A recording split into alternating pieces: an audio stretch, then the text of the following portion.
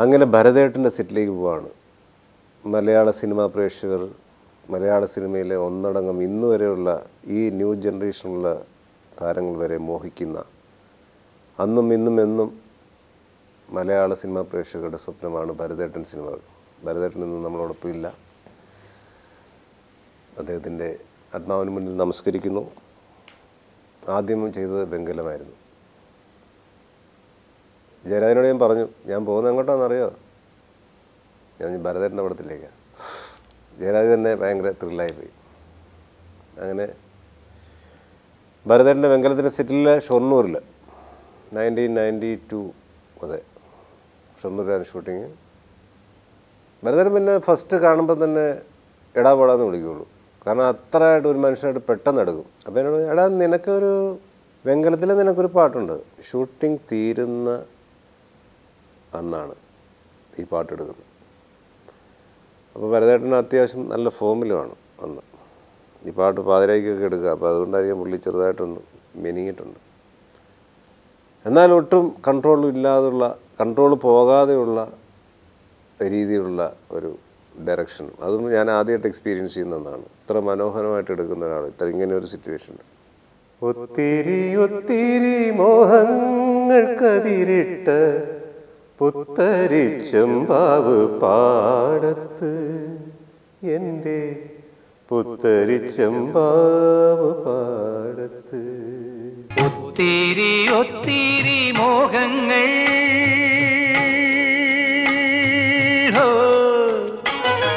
ഒത്തിരി ഒത്തിരി മോഹങ്ങൾ കതിരിട്ട പുത്തരി ചമ്പാവ് പാടത്ത്.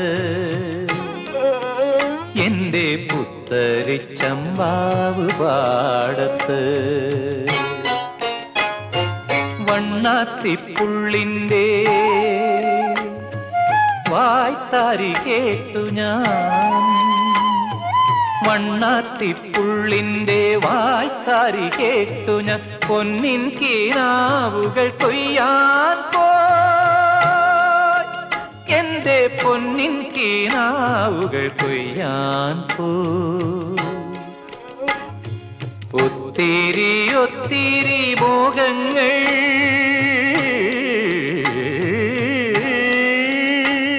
നമ്മൾ നമ്മുടെ പാട്ടിനെ കുറിച്ച് തന്നെ ഇങ്ങനെ പുകഴ്ത്തി പറയുന്നതും ശരിയല്ല. പക്ഷേ പുകഴ്ത്തി പറയാതിരിക്കാൻ പറ്റില്ല. കാരണം അങ്ങനത്തെ ലെജൻസ് ആണ് ചെയ്തിരിക്കുന്നത്. രവീന്ദ്ര മാഷിന്റെ പാട്ടിലും ആദ്യമായിട്ട് അഭിനയിക്കാനുള്ള ഭാഗ്യമുണ്ടായി അങ്ങനെ. അങ്ങനെ വെങ്കലം വളരെ സന്തോഷമായിരുന്നു. നല്ല പാട്ടുകളൊക്കെ ഉള്ള ഇന്നും മലയാളികളേറെ ഇന്നും ന്യൂ ജനറേഷന്റെ ഈ കാലത്ത് പോലും ആ സിനിമ എടുത്താൽ വിജയിക്കും. അത്രയധികം അപ് ടു ഡേറ്റ് ആയിട്ടുള്ള സബ്ജക്റ്റ് ആയിരുന്നു അത് പത്തായം കൊട്ടിത്തുറന്നെന്റെ പറയും പറക്കോലും മാറ്റി മാറ്റിവച്ചു.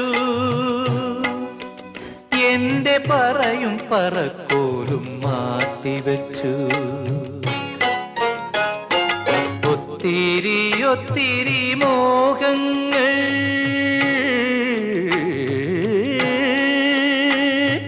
ചമയം. ഞാൻ ശരിക്കും പറഞ്ഞാൽ ഭയങ്കര സന്തോഷമായി. കാരണം ഭരതേട്ടന്റെ ഒരു സിനിമ ഒന്ന് കഴിഞ്ഞിട്ട് പോയാൽ നമ്മൾ പിന്നെ അതൊരു സ്വപ്നമായിട്ട് നിൽക്കുകയാണ്. ഓ ഇനി എപ്പോഴാണ് വിളിക്കുന്നത്? ഭരതേട്ടൻ ഇനി എന്നെ വിളിക്കുമോ വിളിച്ചിരുന്നെങ്കിൽ ഇങ്ങനെയൊക്കെ ആലോചിക്കുന്ന ഒരു ഒരു സംവിധായകനാണ് ഭരതേട്ടൻ. അപ്പോൾ ചമയത്തിന് എന്നെ വിളിച്ചപ്പോൾ ആദ്യം പറഞ്ഞ എടാ ഞാൻ ഒരു കടപ്പുറം സബ്ജക്റ്റാണ് ചെയ്യാൻ പോണത്. അപ്പം നീനക്ക് നീയാണ് ഹീറോ. അത് തിലകന് ഒരു സാധനം ഉണ്ടായിരുന്നു. പക്ഷെ തിലകന് വരുന്ന ഡേറ്റ്സ് പ്രശ്നങ്ങൾ പറയുന്നു. മുരളിയായിരിക്കും ചെയ്യുന്നത്. നിന്റെ ക്യാരക്ടർ ചെയ്യുന്നത് ലാലാണ്. ഏ? ഞാൻ ഞെട്ടി.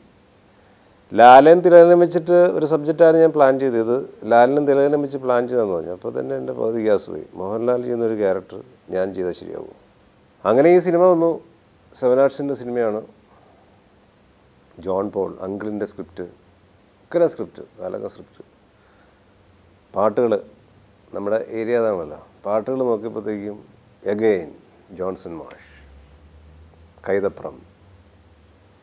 ഷൂട്ടിംഗ് തുടങ്ങി. ഒരു അഞ്ച് ആറ് ദിവസം കഴിഞ്ഞു. ഭരതേട്ടൻ പറഞ്ഞു. അസിസ്റ്റന്റ് ഡയറക്ടറെ വിളിച്ചു. എടാ പുതിയ സാധനമില്ല. ഇന്നലെ റെക്കോർഡ് ചെയ്തുകൊണ്ട് നേരത്തെ അമ്മമാർ മുരളിയും മനോജിനും ഒന്ന് കേട്ടിട്ട് കേൾപ്പിച്ചു കൊടുക്കുക എടാ അന്തിക്കടപ്പുറത്ത് പുതിയ പാട്ടില്ല. അതിങ്ങടുത്തോണ്ട് വാ. അവരൊന്ന് കേൾപ്പിച്ചു കൊടുക്കുക നാളെ മറ്റന്നാൾ ഷൂട്ട് ചെയ്യേണ്ടതാണ്. ഞങ്ങളടുത്ത് അന്തിക്കടപ്പുറത്താണ് ഓക്കെ വരട്ടെ. ഇരിക്കാം. നാഗരയിൽ ഈ സാധനം ഇട്ടു. താരിത്തക്കിളി നാക്കിളി മുക്കിളി തൊട്ട് കളിക്കണ കടലിൻ കുട്ടികളക്കര മുത്ത് കണക്കൊരു കൊച്ചുകിടാത്തിന് ഉദിച്ചു വരുന്നത് കണ്ട് മലർപ്പൊടി തട്ടി കലവില കൂട്ടണ താളത്തുമ്പികളായി വിളിക്കേ പറയച്ചെണ്ടകൾ അററിത്തരികളെ മേളം അടിച്ചു മുഴക്കുന്ന ചാകര വന്ന കണക്ക് മണപ്പുറം ആകത്തരികട തിമൃതത്തൈ മുരളിച്ചേട്ടന്റെ ഫുൾ ഇടപാട് തീർന്നു. കേട്ടു വഴിക്ക് എന്നെ നോക്കിയിട്ട് മനോജ് എന്ത് ഇതെങ്ങനെ ചെയ്യാൻ പറ്റും? ഞാൻ ചേട്ടാ ഇപ്പം ഞാൻ വലിയ കോൺഫിഡൻസിൽ പാടി. അന്ന് ഇതല്ല. ഞാൻ ചേട്ടാ ഇതെങ്ങനെ ഇത് വായിൽ വരത്തില്ല ചേട്ടാ? ഈ അടുക്കടുക്ക് വാക്കുകളല്ലേ? ഞങ്ങൾ തമ്മിലുള്ള രഹസ്യ സംഭാഷണമാണ്. ഭരതേട്ടനൊന്നും ശ്രദ്ധിക്കുന്നില്ല. ഭരതേട്ടൻ അപ്പുറത്ത് ഷൂട്ട് ചെയ്തുകൊണ്ടിരിക്കുക. ഭയങ്കര കഷ്ടമാണ് കേട്ടോ. ഇത് കുഴപ്പം. അന്തിക്കടപ്പുറത്തോരോലക്കൂടെ കുഴപ്പം. മുരളിച്ചേട്ടൻ ഭീകരമായി പേടിച്ചിരിക്കുക. ആ മനോജേ മുരളിയെ കേട്ടോ പാട്ട് കേട്ടോ. അത് നാളെ മറ്റന്നാൾ ഷൂട്ട് ചെയ്യേണ്ടതാണേ. കേട്ട് വരുന്നേട്ടോ എടുക്കും. നമുക്ക് ചെയ്യാം. എനിക്കാണ് ഡാൻസും ഉണ്ട്. വീണ്ടും എന്നെ തേടി ആ ഭീകരജീവി വരുന്നു. ഡാൻസ്. എന്ത് ചെയ്യണമെന്നില്ല ലാസ്റ്റത്തെ ഒരു വലിയ ഒരു താളവട്ടം പോലെ ടക്ക ടക്ക് ടക്ക് ടക്ക് ടക്ക് ടക്ക് ടക്ക് ഇങ്ങനെ ഭയങ്കര ഒരു ഒരു മേളക്കൊഴുപ്പുണ്ട് ലാസ്റ്റ്. അതിന് ഞാൻ ഭീകരമായിട്ട് ഡാൻസ് ചെയ്യുകയും ആ ഡാൻസ് ചെയ്ത് കണ്ടിട്ട് ആൻഡോ അല്ല ആൻഡോ അത്രയും ഭീകരമായി ഡാൻസ് ചെയ്ത് കണ്ടിട്ട് കണ്ടിട്ട് ഇയാൾക്ക് ഭയങ്കര താളബോധം ഉണ്ടെന്ന് എസ്തപ്പനാശാന് മനസ്സിലാവുകയും അങ്ങനെ നാടകത്തിലേക്ക് എടുക്കുകയും ചെയ്യുന്ന ഏറ്റവും ഇമ്പോർട്ടന്റ് ആയ സിനിമയിലെ ഏറ്റവും വഴിത്തിരിവായ വഴിത്തിരിവാകുന്ന സീനാണ്. അപ്പം ഞാൻ ഭീകരമായിട്ട് ചെയ്തേ പറ്റും. അന്തിക്കടപ്പുറത്തൊരോലക്കൂടെ എടുത്ത് നാലും കൂട്ടി മുറുക്കി നടക്കണതാരാണ് ആരാണ്?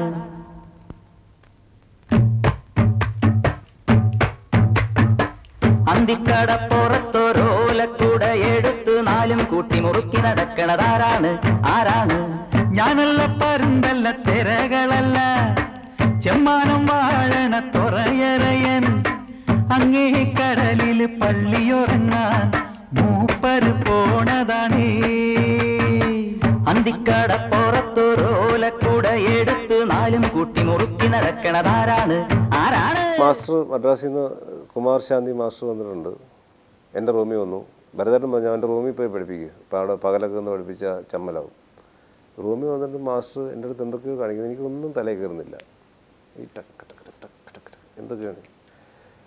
മാസ്റ്റർ പറഞ്ഞു മനോജ് നാളെ ശരിയാവും. ഇന്നിപ്പോൾ നോക്കണ്ട എന്ന് പറഞ്ഞു. അവിടെ ഷൂട്ടിംഗ് തുടങ്ങി. മാസ്റ്റർ പറഞ്ഞതും എനിക്കിഷ്ടമുള്ളതും എന്റെ കയ്യിൽ നിന്ന് വന്നതും എല്ലാം കൂടെ ചേർത്ത് ഞാൻ എന്തൊക്കെയോ കാട്ടിക്കൂട്ടി. അതായിരുന്നു ആ അന്തിക്കിടപ്പുന്നതിന്റെ ലാസ്റ്റത്തെ സീൻ ഇടയ്ക്ക് ഞാൻ മാസ്റ്റർ നോക്കി ഞാൻ ചെയ്യുന്നതൊക്കെ ശരിയാണെന്ന് അറിയാം അപ്പോൾ പുള്ളി മുറുകുന്ന ആറാ മുറുകും ചെയ്തോ കുഴപ്പമൊന്നുമില്ല ചെയ്തോളാം. പുള്ളി പറഞ്ഞൊന്നുമല്ല ഞാൻ ചെയ്യുന്നത് വേറെ എന്തൊക്കെയാണ് ചെയ്യുന്നത്. പുള്ളിക്കാർ രീതിയിൽ കൊണ്ട് നടക്കുകയായിരുന്നു അങ്ങനെ അന്തിക്കടപ്പുറത്ത് നിന്നുള്ള പാട്ട് ഒരു പാട്ടല്ല. ഒരു ഒന്നൊന്നര പാട്ടാണ്. അതുകൊണ്ട് തന്നെയാണ് ഇന്നും ഏത് സ്റ്റേജ് ഷോകളിലും എവിടെയും ആളുകൾ പാടുന്നു.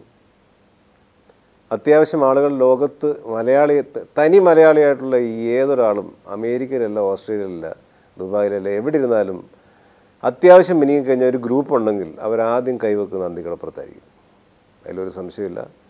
അതിനെ വെല്ലാൻ ഒരു പാട്ട് അത്തരം സിറ്റുവേഷനിൽ മലയാളത്തിൽ വേറെ ഉണ്ടായിട്ടില്ല എന്നുള്ളതും ഞാൻ വളരെ അഭിമാനത്തോടെ പറയുകയാണ്. കാരണം അതിന് എനിക്കിപ്പോഴും അനുഭവങ്ങളുണ്ട്. ഒരുപാട് സ്ഥലത്തും വിളി വരാറുണ്ട് ഇങ്ങനെ മിനിങ്ങിയിരിക്കുന്നു ചേട്ടാ ഞങ്ങൾ ചേട്ടന്റെ അന്തിക്കടപ്പുറത്ത് താങ്ങിക്കൊണ്ടിരിക്കും കേട്ടോ. കാരണം അത് നമ്മൾ ഇത് ചെയ്ത് കഴിഞ്ഞാൽ അപ്പം നമ്മൾ അന്തിക്കടപ്പുറത്താണ് പിടിക്കുന്നത്. അപ്പം ഞാൻ സന്തോഷം സന്തോഷം. ചേട്ടാ ഒരു ലൈൻ പാടുമോ ചേട്ടാ? എന്നൊക്കെ ചോദിച്ചാൽ ഫോണിൽ വിളിക്കും. ചിലപ്പോൾ ഞാൻ പാടി കൊടുക്കും.